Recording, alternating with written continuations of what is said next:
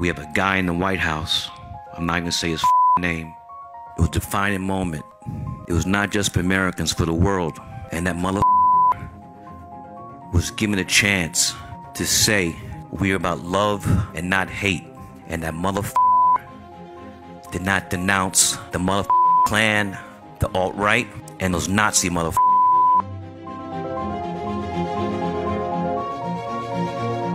We look to our leaders to give us direction, to make moral decisions. And I like to say this is not just something that pertains to the United States of America. This bull is going all over the world. This right wing bull is not just America, it's all over the world.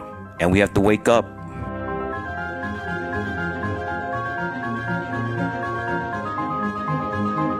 We're going to release this film on the one year anniversary of Charlottesville and is an ugly, ugly, ugly blemish on the United States of America.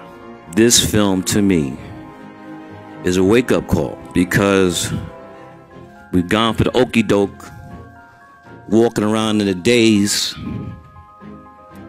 and stuff is happening, and it's topsy turvy, and fake has been trumpeted as a truth. That's what this film's about.